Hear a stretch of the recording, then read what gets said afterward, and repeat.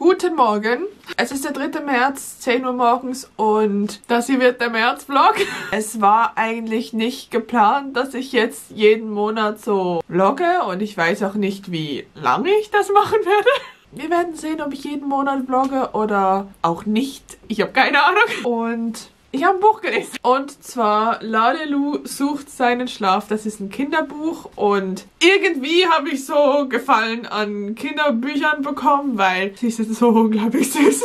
Ich weiß gar nicht, ob ich das gesagt habe, aber im Februar habe ich Hab keine Angst, kleines Dunkel gelesen. Und das war auch einfach so ein süßes Buch. Und das Buch ist auch mega süß, weil das ist ein Lale. Und dieses Lale heißt Lu. Und die Lale sind recht vergesslich. Und es hat vergessen, wo es seinen Schlaf hingelegt hat. Und in diesem Buch sucht es halt dann den Schlaf, damit es einschlafen kann. Und auch die Zeichnungen sind einfach so süß. Die ist einfach so süß. Und dann habe ich noch ein anderes Buch angefangen und zwar Ancora, Die Zeit ist gegen dich von Colin Hadler. Ich bin mittlerweile auf Seite 62 und eigentlich zu diesem Zeitpunkt habe ich mehr Fragen als irgendetwas anderes.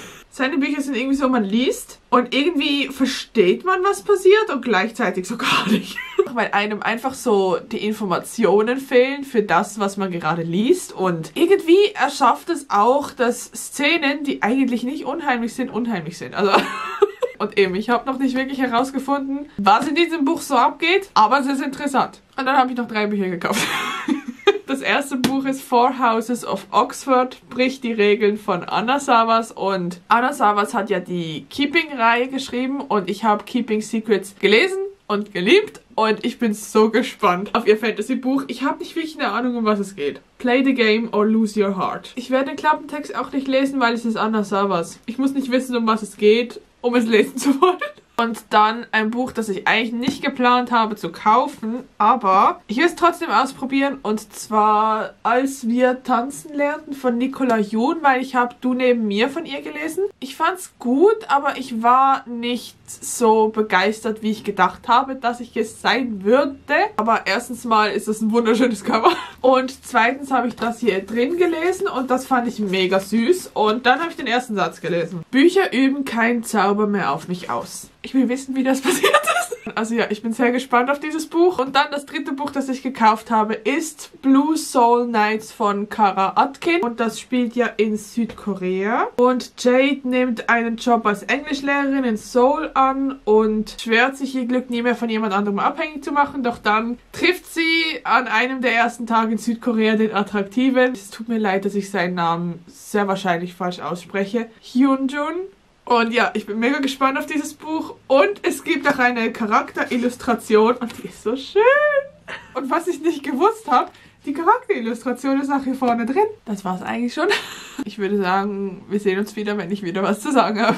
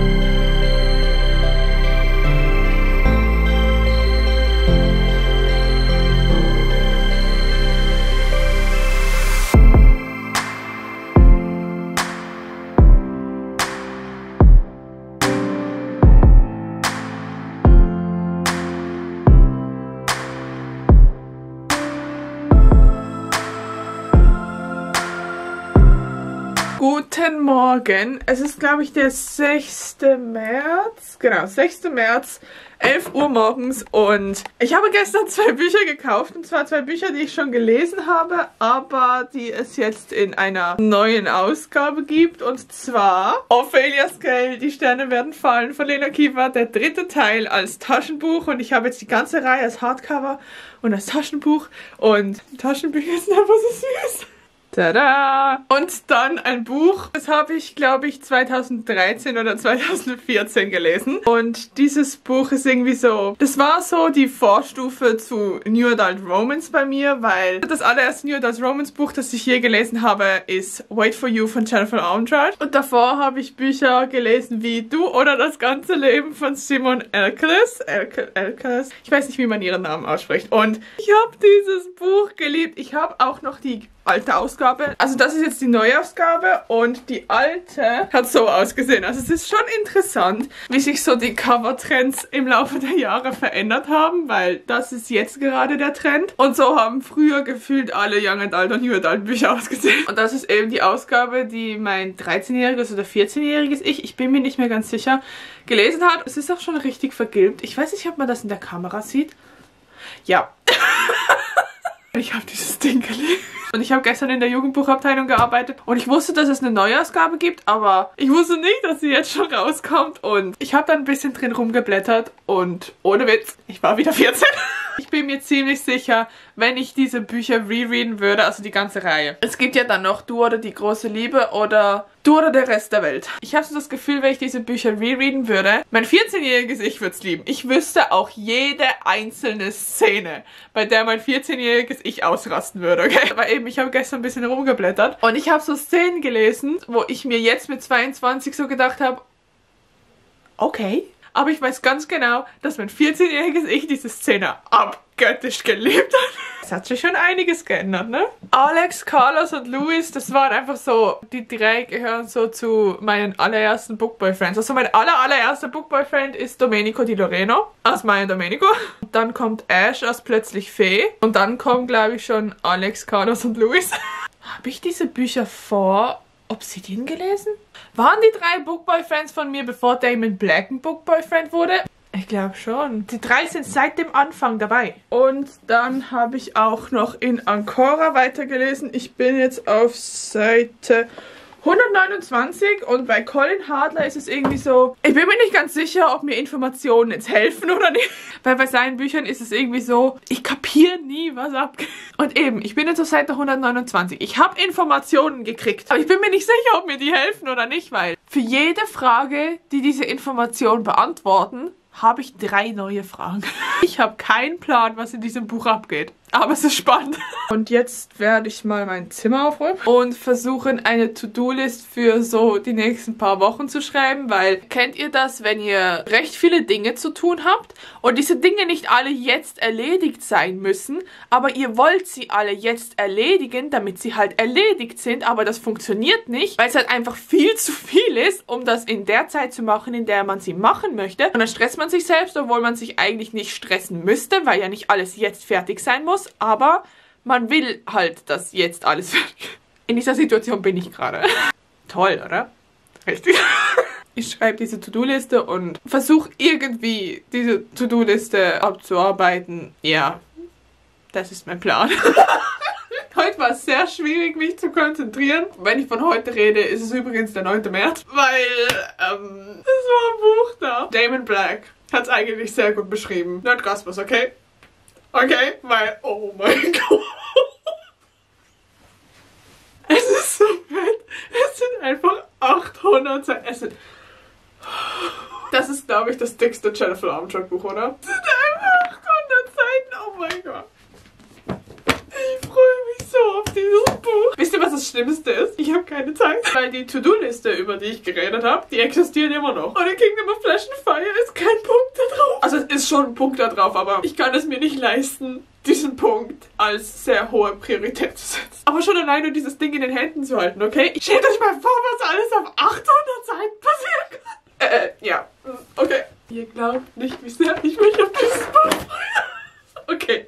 Okay, machen wir gleich weiter mit der Fantasy, weil von Assassinen und Legenden die geheime Welt sind Synta. Das ist der dritte Teil von sechs Teilen von der Reihe und ich glaube nicht, wie sehr ich mich auf den dritten Teil freue. 520 Seiten, oh mein Gott. Legenden sind nichts weiter als Geschichten, in denen man die Wahrheit hört. Das wird so geil. Und was ich richtig krass finde, hier sind farbige Illustrationen drin. In der regulären Ausgabe sind farbige Illustrationen drin. 嘻嘻嘻嘻嘻嘻嘻 Und dann das dritte Buch ist Cards of Love. Das ist der zweite Teil der Cards of Love Trilogie. Ich habe den ersten Teil noch nicht gelesen, aber es ist Nena Tramontani. Ich liebe ihre Bücher. Also ich bin mir ziemlich sicher, dass ich diese Reihe auch lieben werde. Und jetzt kann ich eigentlich alle Nena Tramontani Fantasy Bücher in einem Rutsch lesen, weil die City of Elements Reihe ist beendet und die Cards of Love Reihe ist jetzt auch beendet. Und ich freue mich so auf diese Reihe. Das sind die drei Bücher, die mir heute einen Orgasmus beschert haben. Und dann ist heute noch die Special Edition Box von der Selection-Reihe gekommen. Beacon Book Box. Und diese Bücherbox hat so Special Editions zur Selection-Reihe gemacht. Und unten dran sind halt immer so Illustrationen. Also eigentlich sehen sie wie die regulären englischen Bücher aus. Also auch wie die deutschen. Aber unten dran sind halt so Illustrationen. Und unter dem Schutzumschlag sehen sie auch noch so speziell. So, sieht man's? Und ja, die sind heute auch noch angekommen. Und irgendwie habe ich das Gefühl, dieser Vlog besteht bisher einfach nur daraus, ich habe Bücher gekauft. Aber es ist jetzt März. Im März und Oktober ist es halt einfach immer so, dass die meisten Bücher rauskommen. Und ich habe auch ein bisschen in Ancora weitergelesen. Ich bin jetzt auf Seite 180 und ich habe immer noch nicht wirklich einen Plan, was ich eigentlich abgehe. Aber das ist das Interessante an seinen Büchern. Man hat wirklich keinen Plan, was abgeht. Ich habe jedenfalls keinen Plan, was abgeht. Und ich bin echt gespannt, was es damit auf sich hat. Und Ehrlich gesagt bin ich auch gespannt, ob es alle überleben. Und ja, ich glaube, das wär's. Ich würde sagen, wir sehen uns wieder, wenn ich wieder was zu sagen habe. Es ist der 10. März, Viertel nach 8 Uhr abends und ich bin gerade ein bisschen aufgekratzt. Weil ich habe erstens mal gerade zum allerersten Mal Teams benutzt. Ich habe das vorher noch nie benutzt. Da war ich schon so, ähm, okay. ob das funktioniert, das steht noch in den Sternen. Und was ich da auf Teams gemacht habe, das war so das Treffen von den Gewinnerinnen von der Kassadim Challenge. Ich war zu Tode nervös. Ich hatte diese Teamsitzung klingt immer so blöd, weil es war keine Sitzung. Es war, es war, es war ein Ka Kaffeekränzchen und es war so schön. Es war einfach so interessant, Julia Dippel zuzuhören, einfach auch den anderen zuzuhören und es waren auch alle einfach so sympathisch und nett und ja, es war, es war toll. Und ja, es ging jetzt zwar zwei Stunden, aber ich hätte locker noch, keine Ahnung, dreimal so lange zuhören können, weil es war halt echt mega toll. Und ich bin jetzt immer noch so ein bisschen aufgekratzt deswegen, weil irgendwie ist es auch noch nicht in meinem Kopf angekommen, dass ich das jetzt wirklich durchgezogen habe, weil ich bin ganz ehrlich, um 18.30 Uhr. Ich war kurz davor zu sagen, okay Sarah, du, du machst das nicht. Du, du, meldest dich da jetzt einfach nicht an. Also irgendwie so bescheuert das jetzt auch klingt, das ist für mich irgendwie auch so ein Erfolgserlebnis. Es ist gerade einfach irgendwie so, ein schönes Gefühl. Und eben, ich bin jetzt doch ein bisschen aufgekratzt. Ich versuche jetzt wieder runterzukommen. Ich würde sagen, wir sehen uns wieder wenn ich wieder was zu sagen habe. Es ist Montag, der 14. März und es ist, glaube ich, 9 Uhr abends oder so. Ich habe gerade Ancora beendet. Äh. Ich habe es ja, glaube ich, schon mal gesagt, aber bei Colin Hadlers Büchern blicke ich einfach nie durch. Bis erst dann am Ende erklärt, aber wirklich bis so am Ende, die letzten 40, 50 Seiten, ich habe nicht durchgeblickt. Ich habe es nicht kapiert. Ich habe dieses Buch gelesen und habe mir die ganze Zeit gedacht, das bedeutet irgendwas. Irgend, das hat irgendeine Bedeutung, aber ich, ich komme nicht drauf. Dann habe ich die letzten 40 Seiten gelesen und alles macht Sinn. Das macht einfach alles Sinn. Und ich saß am Ende mich da und habe so was Hölle? Also, falls ihr ein Buch lesen wollt, bei dem man wirklich miträtseln kann und bei dem man vielleicht nicht auf die Antwort kommt, jedenfalls bin ich nicht auf die Antwort gekommen, dann kann ich euch wirklich die Bücher von Colin Hart empfehlen, weil es ist so gut. es ist einfach so gut. Er kann das. Er kann das sehr gut. und dann konnte ich noch ein Buch mitnehmen und zwar High Hopes von Avery. Das ist der erste Teil der Whitestone Hospital Reihe und ihr glaubt nicht, wie sehr ich mich auf dieses Buch freue. Es geht um Laura und Nash und sie ist neue Assistenzärztin und er ist der junge Stationsarzt der Herzchirurgie und mehr weiß ich nicht, weil mehr will ich auch gar nicht wissen und ich freue mich so auf dieses Buch. War das schon immer klar, dass Nicole Böhm hier eine Illustration gemacht hat. Und Sarahs Prinz hat geschrieben, humorvoll, ergreifend und vollkommen einzigartig. Ich freue mich auf dieses Buch. Ich würde sagen, wir sehen uns irgendwann wieder.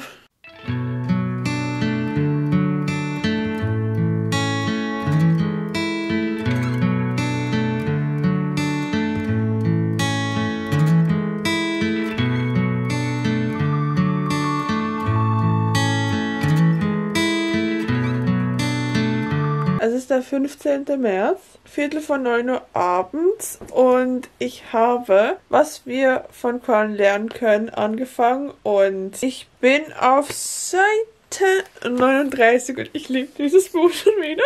Es ist einfach Henry und Max sind jetzt schon so dermaßen süß. Auch wenn sie sich doch nicht wirklich oft getroffen haben, aber sie sind jetzt einfach schon so, so richtig auch einfach so schon die ganze Atmosphäre in diesem Buch. Ich weiß nicht, wie Katharina Wolf das hinkriegt, aber es ist bei jedem von ihren Büchern. Ich fange an und ich liebe einfach alles. und Max, er ist Barkeeper. und auch Henry ist einfach so toll und ich liebe dieses Buch schon sehr. Und ich habe im letzten Vlog ja das Blogger-Paket zu diesem Buch ausgepackt und ich weiß jetzt, warum dort so viele Zuckertütchen drin waren. Und ja, das Buch ist jetzt schon mega toll. Und ich suche gerade nach der Motivation, um aufzustehen. Weil heute ist noch ein Buch angekommen. Aber um das zu zeigen, muss ich aufstehen. Weil heute ist die Chest of Fandom Special Edition zu Flash and Fire angekommen. Und es ist so hübsch. Und hier drin... ist auch ein Fanart von Hawk. Und ich weiß nicht, wann es passiert ist. Aber es ist irgendwann passiert und ja. Dieses ganze Regalbrett beherbergt einfach nur From Blood and Ash oder Kingdom of Flesh and Fire. Hier hinten ist die normale Hardcover-Ausgabe, man sieht es jetzt gerade gar nicht. Hier ist die Special Edition von Fairy Loot, dann ist die Special Edition von The Bookish Box. Nein, das ist die Special Edition von Fairy Loot. Das ist die Special Edition von Illumicrate, glaube ich. Dann ist hier das englische Taschenbuch. Dann ist hier die Special Edition von Chest of Fandoms auf Deutsch.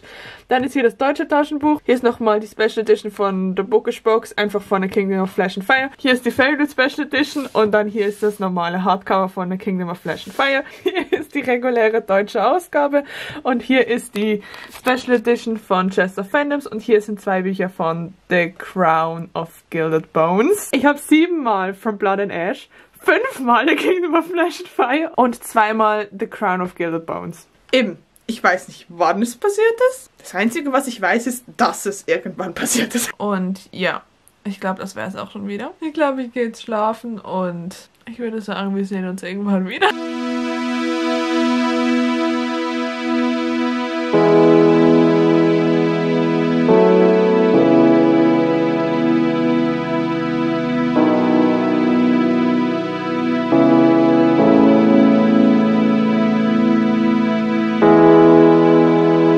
Es ist der 17. März, ich glaube irgendwie so 4 Uhr oder so und ich bin gerade am Spazieren, weil ich habe eine Pause gebraucht. Ich bin gerade dabei, ein Video zu schneiden, das eigentlich schon irgendwie so im Januar hätte online gehen sollen und zwar das Read With Me zu Dark Element 6. Es ist auch noch nicht fertig gedreht, also ich glaube die letzten 140 Seiten habe ich immer noch nie besprochen. Aber ich habe heute angefangen es zu schneiden und ich bin mit dem vorhandenen Rohmaterial auch schon fast fertig. Ich glaube, ich habe noch anderthalb Stunden oder so. Und ja, den Rest werde ich irgendwann drehen und schneiden. Das Ziel ist, dass das noch im März der Fall sein wird. Und ja, ich habe jetzt gerade einfach eine Pause vom Schneiden gebraucht und ich liebe spazieren zu gehen, weil erstens mal, ich bin da in der Luft und zweitens kommen mir beim Spazieren einfach immer die meisten Ideen zum Schreiben und ich hatte jetzt gerade eine Idee, äh, die hat eigentlich sehr klein angefangen, also es war nur eine Sache, die mir in den Sinn gekommen ist. Aber diese Sache hat sich in der letzten halben Stunde so weiterentwickelt, und ja, ich laufe jetzt noch ein bisschen rum, dann gehe ich wieder zurück und schneide weiter. Es ist der 18. März, 23 Uhr abends und ich muss ein bisschen leise sein, weil meine Familie schläft schon. Aber ich konnte heute ein Buch mitnehmen. Right Now von Anne Petzold. Das ist der zweite Teil der On-Ice-Dilogie und ich habe hier hinten gar nie gelesen. Keiner von uns ist perfekt, wir bestehen alle nur aus Chaos. Sternstab, wir bestehen aus Sternstab, wir sind Sterne. Oh mein Gott. Falls ihr es noch nicht wisst, ich liebe die Bücher von Anne Petzold und ihre Bücher sind einfach irgendwie immer so nach Hause kommen und einfach so ein warmes, gemütliches Plätzchen, an das ich gehen kann und ich freue mich so auf Right Now, weil Aaron hat mich ja schon in Right Here kennengelernt und ich liebe den Typen jetzt schon und ich bin mega gespannt auf Marlee und das ist so schön. Oh mein Gott. Und dann ist noch ein Paket angekommen und zwar ist es das neue Buch von Enid House und Julie Hex und ich darf bei den beiden in der Bloggergruppe sein und hier ist das Buch drin. So sieht's aus. Als allererstes sind hier Katjes Rainbow Edition drin. Uh. Dann ist hier so ein kleiner Rose Hill Spiegel drin.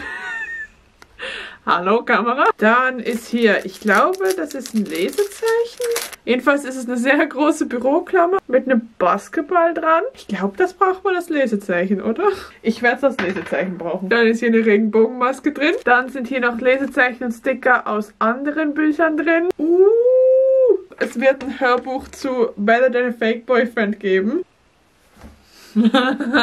Und hier ist ein Zitat von Better Than a Fake Boyfriend drauf. Und dann ist hier natürlich noch das Buch No Game to Win. Der erste Teil der Rose Hill College Reihe von Julie Hex und Ina Taus und der Beauty Blogger und der Star des Basketballteams. Und in diesem Buch geht es um Eden und Hunter und sie landen sozusagen unfreiwillig in einer WG und sie lassen sich auf ein Spiel ein, das keiner gewinnen kann und fragen sich immer öfter, wie hoch wäre der Preis für einen Sieg. Und da jetzt 11 Uhr Abend ist, werde ich schlafen gehen. Und ich würde sagen, wir sehen uns morgen wieder.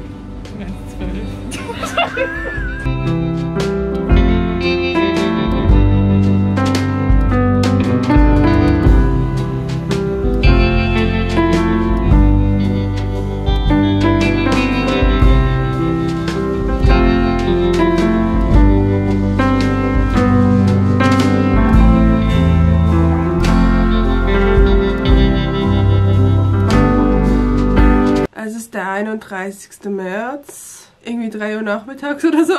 Und ich habe jegliches Zeitgefühl verloren, weil die letzten sieben Tage habe ich krank das Bett gehütet. Deshalb keine Ahnung, wann ich das letzte Mal irgendwas gesagt habe. Und falls ich klinge, als wäre ich noch nicht ganz auf der Höhe, das liegt daran, dass ich auch noch nicht ganz auf der Höhe bin. Ich glaube, das letzte Mal, als ich mich gemeldet habe, ist gerade ein Buch angekommen. Und dann habe ich Besuch bekommen, und zwar von Elida. Und wir sind zusammen nach Velaris gefahren, weil sie war noch nie in der Schweiz. Und irgendwie, sie hat gesagt, die Schweiz erinnert sie so an den Nachthof. Und Basel und Zürich sehen so aus wie Velaris. Deshalb, wir sind nach Velaris gefahren. Es war ein sehr schöner Sonntag und dann kommen die letzten sieben Tage. Es sind in dieser Woche ein paar Bücher angekommen und ich habe auch Bücher gelesen. Es ist nicht die richtige Reihenfolge, weil das erste Buch, das ich jetzt zeige, ist erst heute angekommen. Es sind jetzt einfach die Bücher der letzten sieben Tage, okay? Und zwar Everything We Lost von Jennifer Bright. Das ist der zweite Teil der Love and Trust Reihe. Everything We Had ist der erste Teil und hier sind auch die beiden Illustrationen drin und die sind einfach so hübsch. Und eben, das ist der zweite Teil. Ich habe den ersten Teil noch nicht gelesen, aber diese Bücher sollen richtig gut sein und ich freue mich einfach mega. Und dann das nächste Buch ist Swimming in Light von Deborah Anastasia. Das ist ja der zweite Teil zu Drowning in Stars. Und ich freue mich mega auf Swimming in Light, weil hier ist Teddy die Protagonistin. Und ich fand Teddy in Drowning in Stars schon mega toll und ich bin schon sehr gespannt auf dieses Buch. Dann ist noch Starlight Full of Chances angekommen. Das ist der zweite Teil zu Night Sky Full of Promise. Ich habe den ersten Teil noch nicht gelesen, aber der erste Teil soll richtig genial und wunderschön sein und ich bin schon sehr gespannt auf diese Bücher. Und dann ist eine Special Edition angekommen. Ich glaube, es ist von Fairy Loot. The Iron Sword, das ist der zweite Teil von der plötzlich Rebell-Trilogie, also dem Spin-off zum von Plötzlich Faye von Judy Carlo. Und eben, das ist die Fairy Loot Special Edition. Also die sieht eigentlich so aus. Und unter dem Schutzumschlag hat es wie beim ersten Teil ein Bild. Und das ist Ash. Das ist der Love Interest von Plötzlich Fee. Und Ash war mein allererster Fantasy Book Boyfriend, den ich je hatte. Und jetzt habe ich ein Bild von ihm. Und ich bin mir nicht sicher, Aber wenn ich das jetzt so richtig gesehen habe, ist der zweite Teil von der Plötzlich Rebell-Reihe aus Ashs Sicht geschrieben. Weil es steht hier, I've lived a long life, not as long as some in Fairy. Robin Goodfellow, for example, is older than me. By several hundred years. Ich habe nicht das Gefühl, dass Puck hier über sich selber redet. Ich habe dann noch ein bisschen weitergelesen und die Dinge, die ich da gelesen habe, kann ich nicht sagen, weil das sind Spoiler. Aber wenn ich das jetzt richtig verstanden habe, ist der zweite Teil aus dieser Trilogie aus Ashs Sicht geschrieben. Und wenn das wirklich so ist. Ich weiß, es gibt schon ein Buch aus Ashs Sicht und zwar der vierte Teil der Plötzlich Fee-Reihe. Aber ist das ein Spoiler, wenn ich das sage? Ich sag's nicht, ich glaube, das ist ein Spoiler. Aber wenn das jetzt wirklich aus Ashs Sicht ist, mein 14-jähriges Ich wird sowas von ausrasten, wenn sie dieses Buch liest.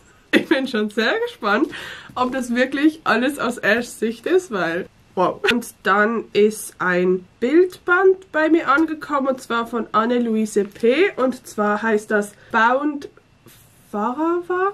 Ich bin mir nicht ganz sicher, wie man das ausspricht. Das sind einfach so die Zeichnungen zu dieser Reihe und das ist ja, ich glaube, es ist ein Graphic Novel. Bin mir nicht ganz sicher, aber es wurde dieses, nein, letztes Jahr auch auf Deutsch übersetzt und ich liebe diese Geschichte und das ist eben jetzt der Bildband dazu. Da sind auch noch ganz viele Bilder drin, die man halt noch nicht gesehen hat und so. Und hier oben steht es ist ab 18, weil ich glaube, man kann es vom Cover ablesen, da sind auch Bilder drin, die nicht ganz so jugendfrei sind und ich liebe die zwei, okay? Die zwei sind eben die Protagonisten aus der Reihe und ich liebe diese Reihe. Und jetzt habe ich einen ganzen Bildband.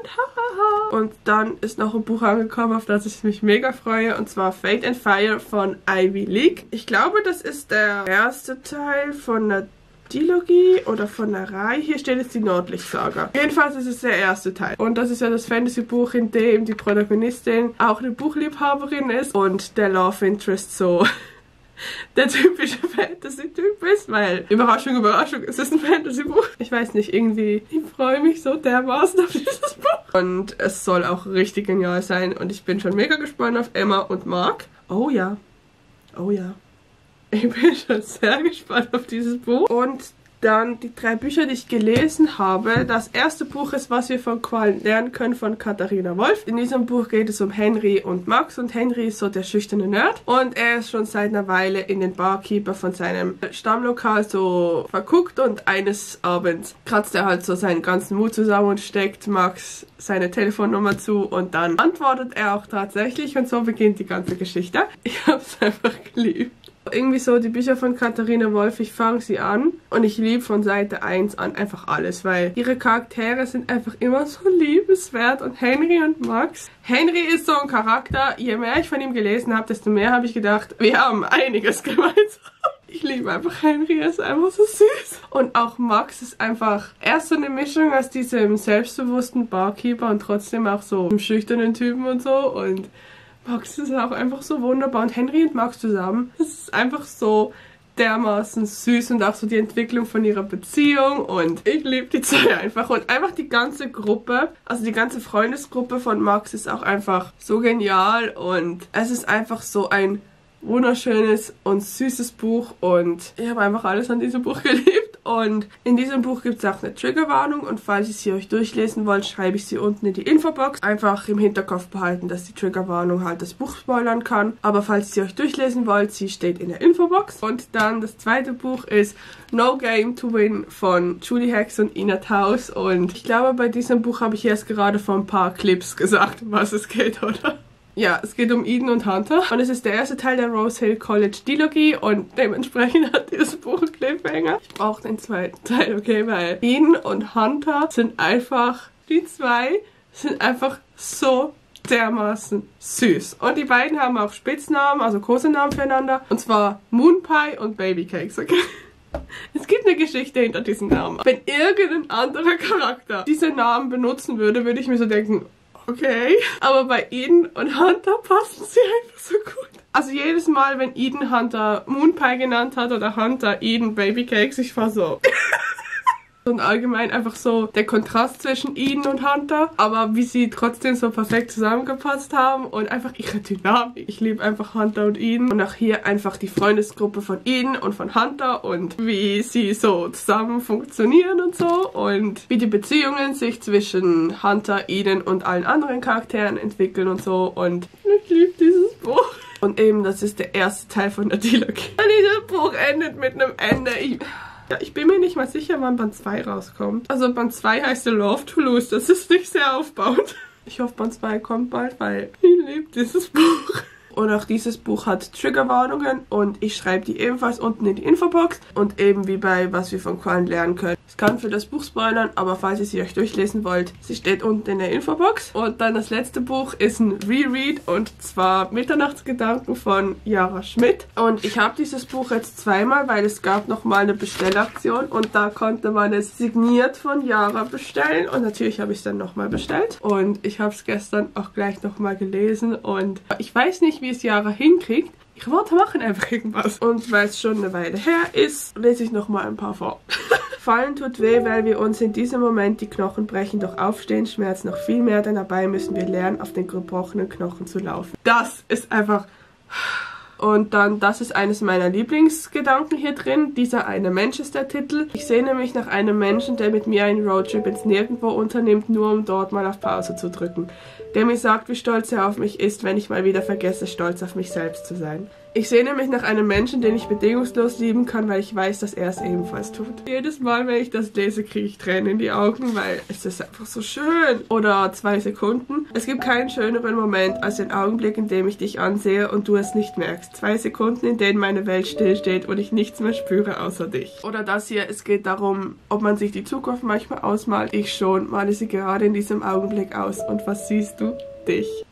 Es ist einfach oder Zusammensetzung der Sterne. Ich sah all das und dachte daran, wie sehr du es geliebt hättest. Doch das kannst du nicht mehr, denn du bist auf den Tag genau seit zwei Monaten selbst einer von ihnen. Oder so unendlich viele Gründe, dieses Leben zu leben und du bist einer davon. Oh, oh, okay. Ich wünsche mir sekundenlange Augenblicke, die für die Ewigkeit gemacht sind. Ich. Oh mein Gott! Lass uns so hoch springen, wie wir können, damit wir die Angst vorm Fallen verlieren. Dieses Buch. es ist einfach wunderschön und ich liebe jedes einzelne Wort darin. Und ich verlinke euch unten auch Jaras Instagram-Account, weil sie macht auch Instagram-Posts mit Mitternachtsgedanken und schaut unbedingt bei ihr vorbei. Und das sind die Bücher der letzten sieben Tage. Das war mein Vlog im März. Schreibt mir gerne unten in die Kommentare, was ihr im März so gemacht habt und ich hoffe jedes Mal euch hat dieses Video gefallen. Wir sehen uns beim nächsten Mal wieder und bis dahin wünsche ich euch einen wunderschönen Tag. Tschüss!